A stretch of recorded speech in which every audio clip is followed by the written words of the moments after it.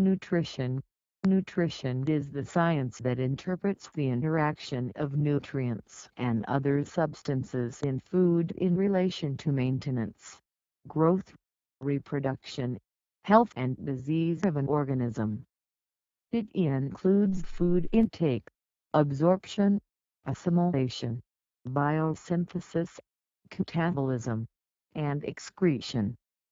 The diet of an organism is what it eats, which is largely determined by the availability and palatability of foods. For humans, the healthy diet includes preparation of food and storage methods that preserve nutrients from oxidation, heat or leaching, and that reduce risk of foodborne illnesses.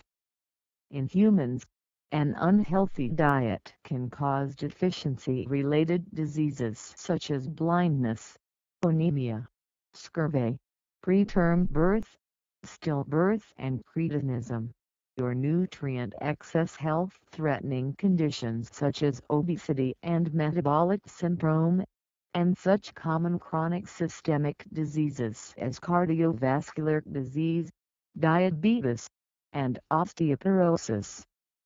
Undernutrition can lead to wasting in acute cases, and the stunting of marasmus in chronic cases of malnutrition.